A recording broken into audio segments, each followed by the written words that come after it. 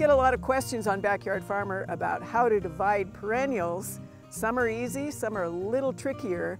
And while this is not exactly the time of year when we would be dividing a lot of our grasses, especially the warm season grasses, some of the reasons for division include dead centers in the middle of it, too large, spreading outside their space, want to give a piece to the neighbors, all those reasons for doing the division.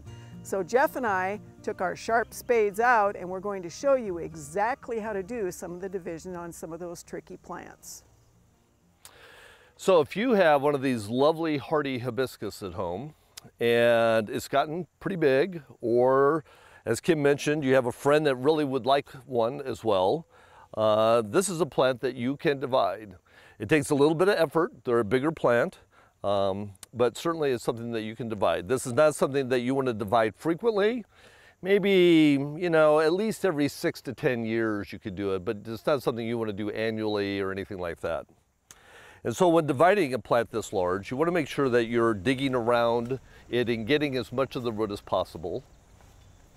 You'll gently lift this and then as we get it out, you'll check the root system, make sure that we're in good shape, clean up any um, broken roots or anything that needs trimming. I like to clean them up with my pruners, get things so they're nice and smooth. And then with a, a sharp spade, you can divide it. And really, I wouldn't want to do any more than just dividing it in half. This is not something, maybe like some of the grasses or something else we'd look at. You could divide it into smaller pieces, but this is something I would just split in half. Find a good good place to divide it. Um, and then again, put it into your prepared hole. You want to bring in some things. You want to make sure that the hole has good topsoil or add some compost, something like that to get it off to a good start.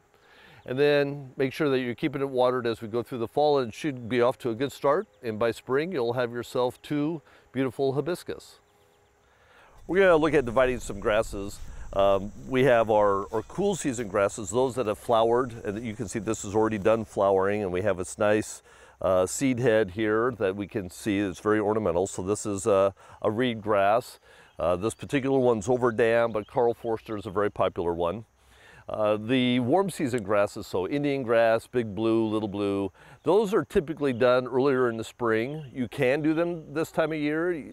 You know, you may not be quite as successful as you'd like, but you can do it if you do it very carefully. So as Kim mentioned, one of the reasons we want to divide these grasses is because as they, they continue to spread a little, they'll get bigger, they may kind of overgrow their spot. Uh, and the grasses are relatively simple compared to the hibiscus. Again, we want to take as big a root ball as we can. Um, you can split these into smaller pieces and, and, again, as the, the site that they'll be planted into, we want to make sure we have that prepared and ready ahead of time, give some thought to how you want to have them laid out, and then you can get those installed and then water through the fall and have them ready for spring.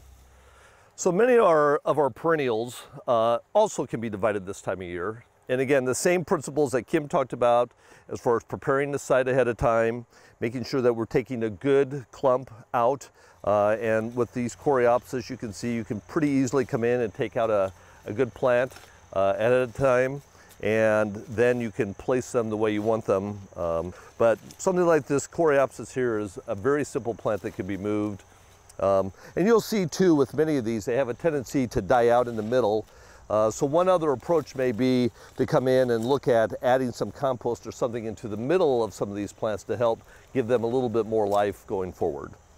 So the long and the short of it is, if you really do need to divide some of these big perennials, choose your season wisely, make sure you have somebody to help you, get that plant out of the ground, but dig the hole where it's going to live first, and make sure your tools are sharp.